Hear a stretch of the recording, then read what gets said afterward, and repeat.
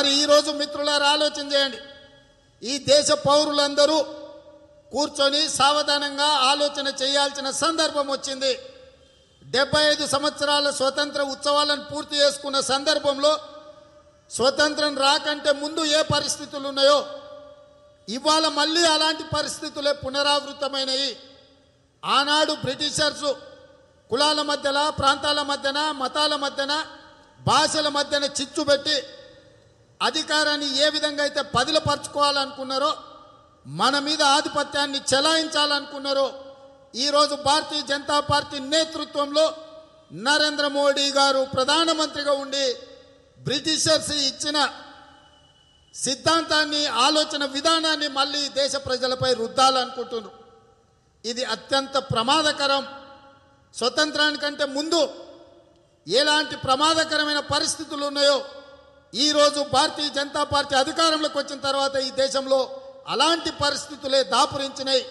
అందుకే ఈరోజు మన నాయకుడు శ్రీ రాహుల్ గాంధీ గారు కన్యాకుమారి నుంచి కశ్మీర్ వరకు మూడు వేల ఐదు వందల కిలోమీటర్లు ఏకదాటిన పాదయాత్ర చేసి ఈ దేశానికి పొంచి ఉన్న ముప్పు నుంచి కాపాడడానికి ఈ దేశం కోసం ప్రాణాలు అర్పించిన మహాత్మా గాంధీ గారు శ్రీమతి ఇందిరాగాంధీ గారు శ్రీ రాజీవ్ గాంధీ గారి వారసత్వాన్ని పుణికిపుచ్చుకొని అవసరమైతే ప్రాణాలను సైతం దేశం కోసం ఇవ్వడానికి సిద్ధంగా ఉన్నా అని చెప్పి ఈ రోజు ఒక మహత్కరమైన కార్యక్రమాన్ని తీసుకొని వారు పాదయాత్ర చేపడుతున్నారు.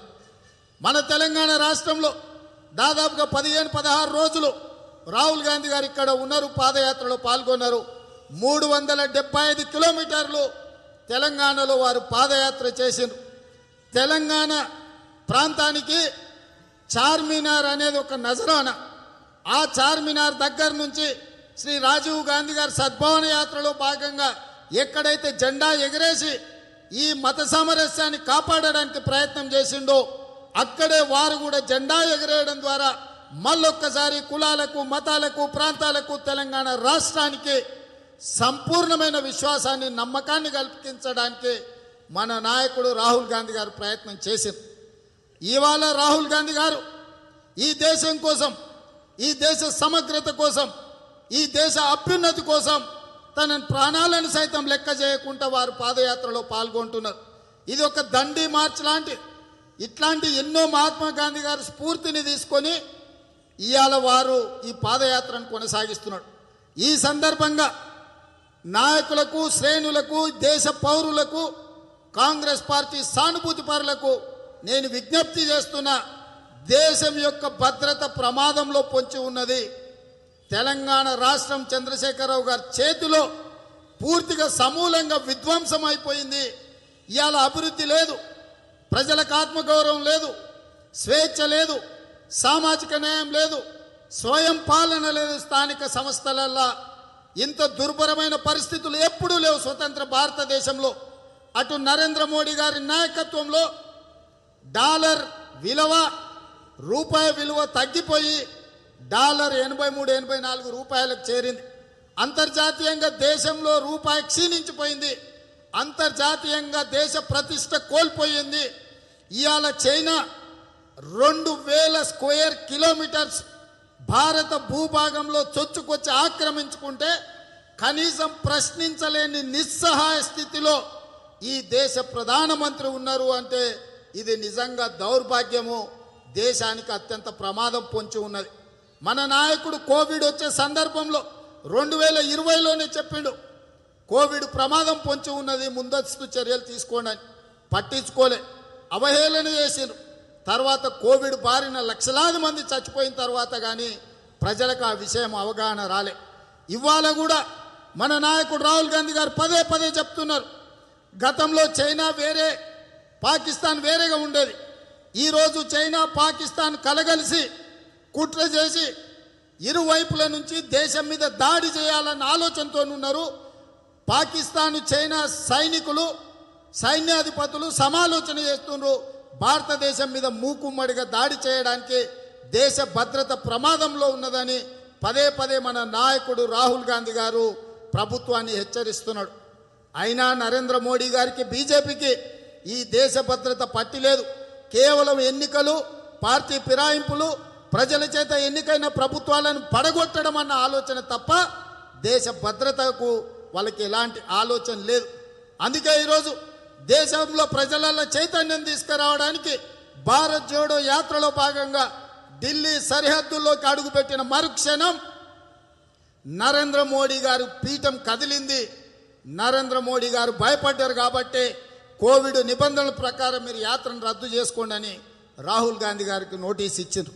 నేను అప్పుడే అడిగిన ప్రధానమంత్రిని పార్లమెంట్లో నిజంగానే కోవిడ్ పొంచి ఉంటే పార్లమెంట్లో నిబంధనలు పాటించి పార్లమెంట్ సమావేశాలు నిర్వహించాలి కదా. పార్లమెంట్లో ప్రధానమంత్రి హోంమంత్రి సంబంధిత శాఖ మంత్రులు సభలు నిర్వహించేటప్పుడు కోవిడ్ ప్రమాదం ఢిల్లీలో పొంచి ఉంటే పార్లమెంట్లో నిబంధనలు ఎందుకు అమలు చేయట్లేదు అని. అంటే కేవలం కుట్ర చేయడం ద్వారా రాహుల్ గాంధీ గారి దేశాన్ని కాపాడడం కోసం చేస్తున్న ప్రయత్నాన్ని దెబ్బతీయడానికి దేశ సమగ్రతను ఫనంగా పెట్టడానికి ఈరోజు బీజేపీ ప్రభుత్వం ప్రయత్నం చేస్తుంది. వాళ్ళ రకంగా దేశాన్ని విచ్ఛిన్నం చేసైనా అధికారాన్ని నిలబెట్టుకోవాలని వాళ్ళ ఆలోచన చేస్తుంటే ఇక రాష్ట్రంలో తోసుకున్న దోపిడీతోటి రాష్ట్రం మొత్తం నిర్వీర్యం అయిపోయింది ఇక దోసుకోవడానికి ఏం మిగలలేదు.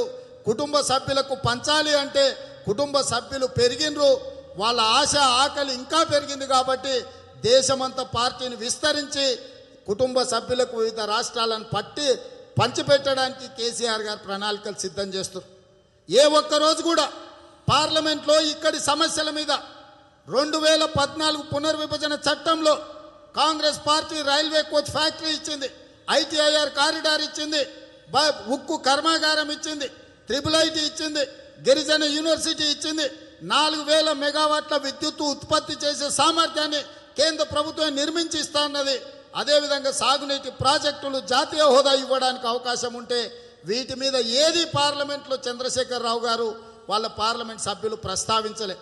కానీ ఢిల్లీకి వచ్చి దిక్కుమాలిన పార్టీ కార్యాలయాన్ని ఏర్పాటు చేసుకొని మూడు రోజులు అక్కడ కూర్చున్నాడు. పార్లమెంటు జరుగుతున్నప్పుడు ఢిల్లీకి వచ్చిన రాష్ట్ర ముఖ్యమంత్రి పునర్విభజన చట్టంలో చట్టం తెలంగాణ ప్రజలకు హక్కు కల్పించింది కాంగ్రెస్ పార్టీ. దాన్ని ఎందుకు అమలు చేస్తలేవని చంద్రశేఖరరావు గారు కేంద్ర ప్రభుత్వాన్ని నిలదీసి ఆలోచన చేయలే. ఎంతసేపు ఉన్నా ఒకడేమో పార్టీ ఫిరాయింపులు ఎమ్మెల్యే కొనుగోలు అంటాడు. ఇంకొకడేమో ఢిల్లీ లిక్కర్ స్కామ్ అంటాడు. ప్రజల యొక్క సమస్యల్ని పట్టించుకుంటలేరు. ఇవాళ రాష్ట్రంలో రైతులు చచ్చిపోతున్నారు. నిరుద్యోగ యువకులు ఉద్యోగాలు లేక ఆత్మహత్యలు చేసుకుంటున్నారు. దళితులు గిరిజనుల గురించి చెప్పాల్సిన అవసరం లేదు.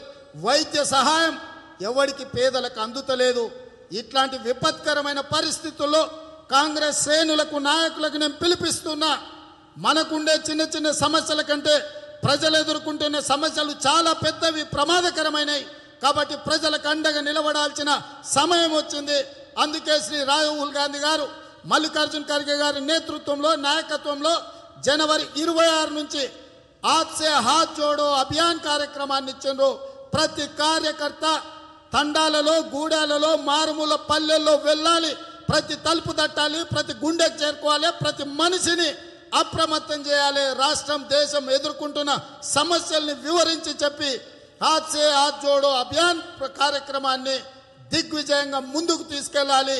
ఈ కార్యక్రమంలో ప్రతి కాంగ్రెస్ పార్టీ నాయకుడు కార్యకర్త అభిమానులు తెలంగాణ పౌరులందరూ కూడా పాల్గొనవలసిందిగా ఈ కార్యక్రమాన్ని ముందుండి నడిపించడానికి మనమందరం సంసిద్ధంగా ఉండాలి. ఈ కార్యక్రమంలో మనందరం కలిసి పనిచేయడం ద్వారా ప్రజలకు ఒక భరోసాన్ని ప్రజలకు ఒక విశ్వాసాన్ని కల్పించాల్సిన బాధ్యత నాయకుల మీద మన మీద ఉంది.